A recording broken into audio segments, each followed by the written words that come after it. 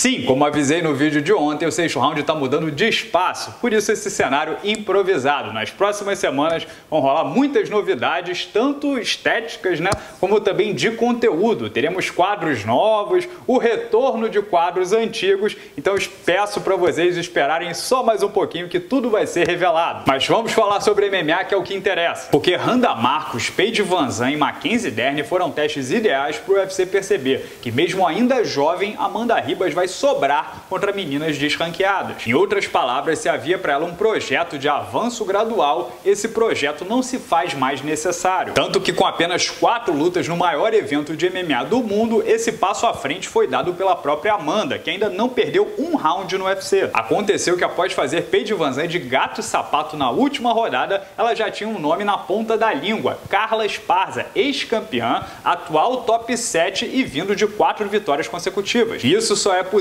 porque Amanda é um daqueles casos de atletas que atingem um nível bem alto ainda cedo. Definitivamente não é comum alguém com 24, 25 anos ter esse tipo de domínio, e os que conseguem geralmente acabam vestindo cinturões mais à frente. Sempre lembro a história que em 2016 escrevi um texto para o saudoso site do Sexto Round dizendo que aquele Max Holloway de 24 anos seria campeão do mundo. Quando e contra quem não tinha como saber, não sou adivinho, mas aquele tipo de performance no início da caminhada saltava muito aos olhos. Se não esmorecer nos treinos, até porque a fama traz muitas distrações e facilidades né, incompatíveis com a vida de um atleta profissional, Amanda pode ir pelo mesmo caminho. A grande questão é se agora, hoje, ela já está pronta para uma das melhores do mundo na sua categoria. E esse lance de timing pode ser muito mais traiçoeiro do que parece. Por exemplo, o forte da Amanda é o judô. Já a Carla é uma wrestler All-American. Se elas se encontram e a americana bota a brasileira para baixo à vontade, impondo o seu ritmo, às vezes a frustração é tão grande que a parte mental, que não tem nada a ver com a parte técnica,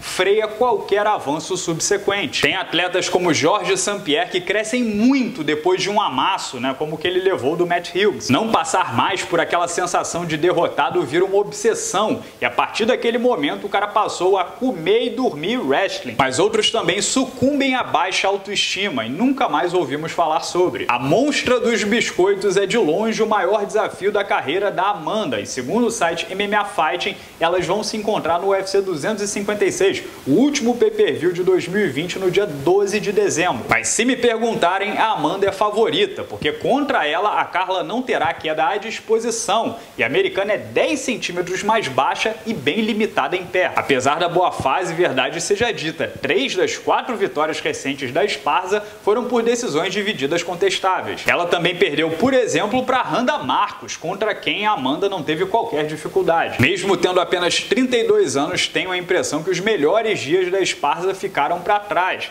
e esse é o momento ideal para a leoa mais jovem e faminta conquistar território. Se a minha teoria estiver certa, excelente, Amanda vira gente grande no UFC, top 10. Dependendo do que rolar, inclusive, pode passar a impressão que ela sempre esteve pronta e o lugar mais alto do pódio está ao alcance dos braços. Agora, se a grande porteira da categoria barrala, Amanda também pode virar gente grande, vale a experiência contra uma menina que tem o dobro de horas de voo. Derrotas também são grandes professoras, você entende o que faltou melhor, é, a capacidade física de alguém que foi capaz de te derrotar, e isso tudo tem que virar combustível e ser levado para o tatame. O importante é que a Amanda fez o dever de casa e teve ambição, e por isso está praticamente numa situação de ganha-ganha contra uma veterana que entra carregando muito mais responsabilidade.